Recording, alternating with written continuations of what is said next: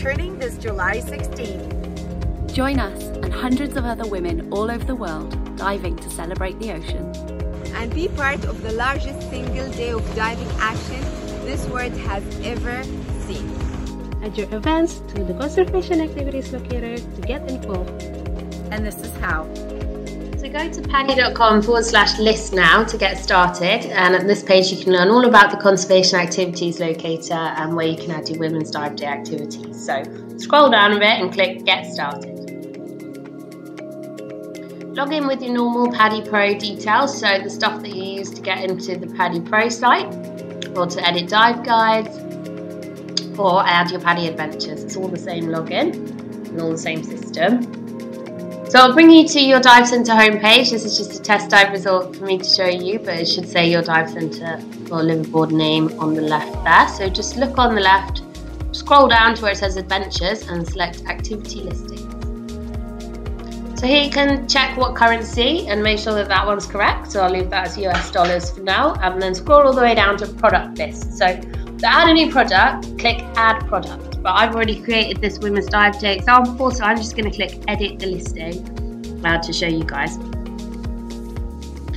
So first things first, it'll bring you to the Basics tab. Most important thing to do is make sure you select Conservation Activity. So regardless of what your event is for Women's Dive Day, make sure you select Conservation Activity because that's how we're going to make sure that it's actually going to show up on the Conservation Activities locator and not on the PADI Adventures app. So select Conservation Activity. Then you can fill out whatever suits you best. So activity type, choose from the options, add the category, different options. Um, is it for a special event? Say, yeah, it's for Women's Dive Day. Uh, give it a title and then fill out some basic information about it in terms of how long it lasts, where you're going to meet, um, and how many people will be involved, the languages, if there's any minimum requirements like age or diver certification, and then select save. Then you want to add a description, so nothing too complicated, just add a couple of sentences about what it is you're going to be doing to give people the gist of, of why they should come and spend time on your Women's Dive Day activity, and then stick in a few highlights there. So I've just kept it real simple come and celebrate Women's Dive Day, clean up the ocean, and meet other women divers in our community. Keywords, add as many keywords as you want. I've just gone with Women's Dive Day and Dive Against Debris. Then it brings you onto your logistics tab. So I've said we're meeting at the dive centre, so it's auto populated with that. But if you're meeting somewhere else, like at the dive boat or outside a shop, you can select other meeting point, and then you can use this map function to select where it is that you're going to meet. I'm going to keep it with dive centre address, but this meeting point description text box gives you another place to give additional information. For example, if you're going to have red t-shirts on, or you're going to be right next to a blue flag, stick that information in there and that'll help your divers find you.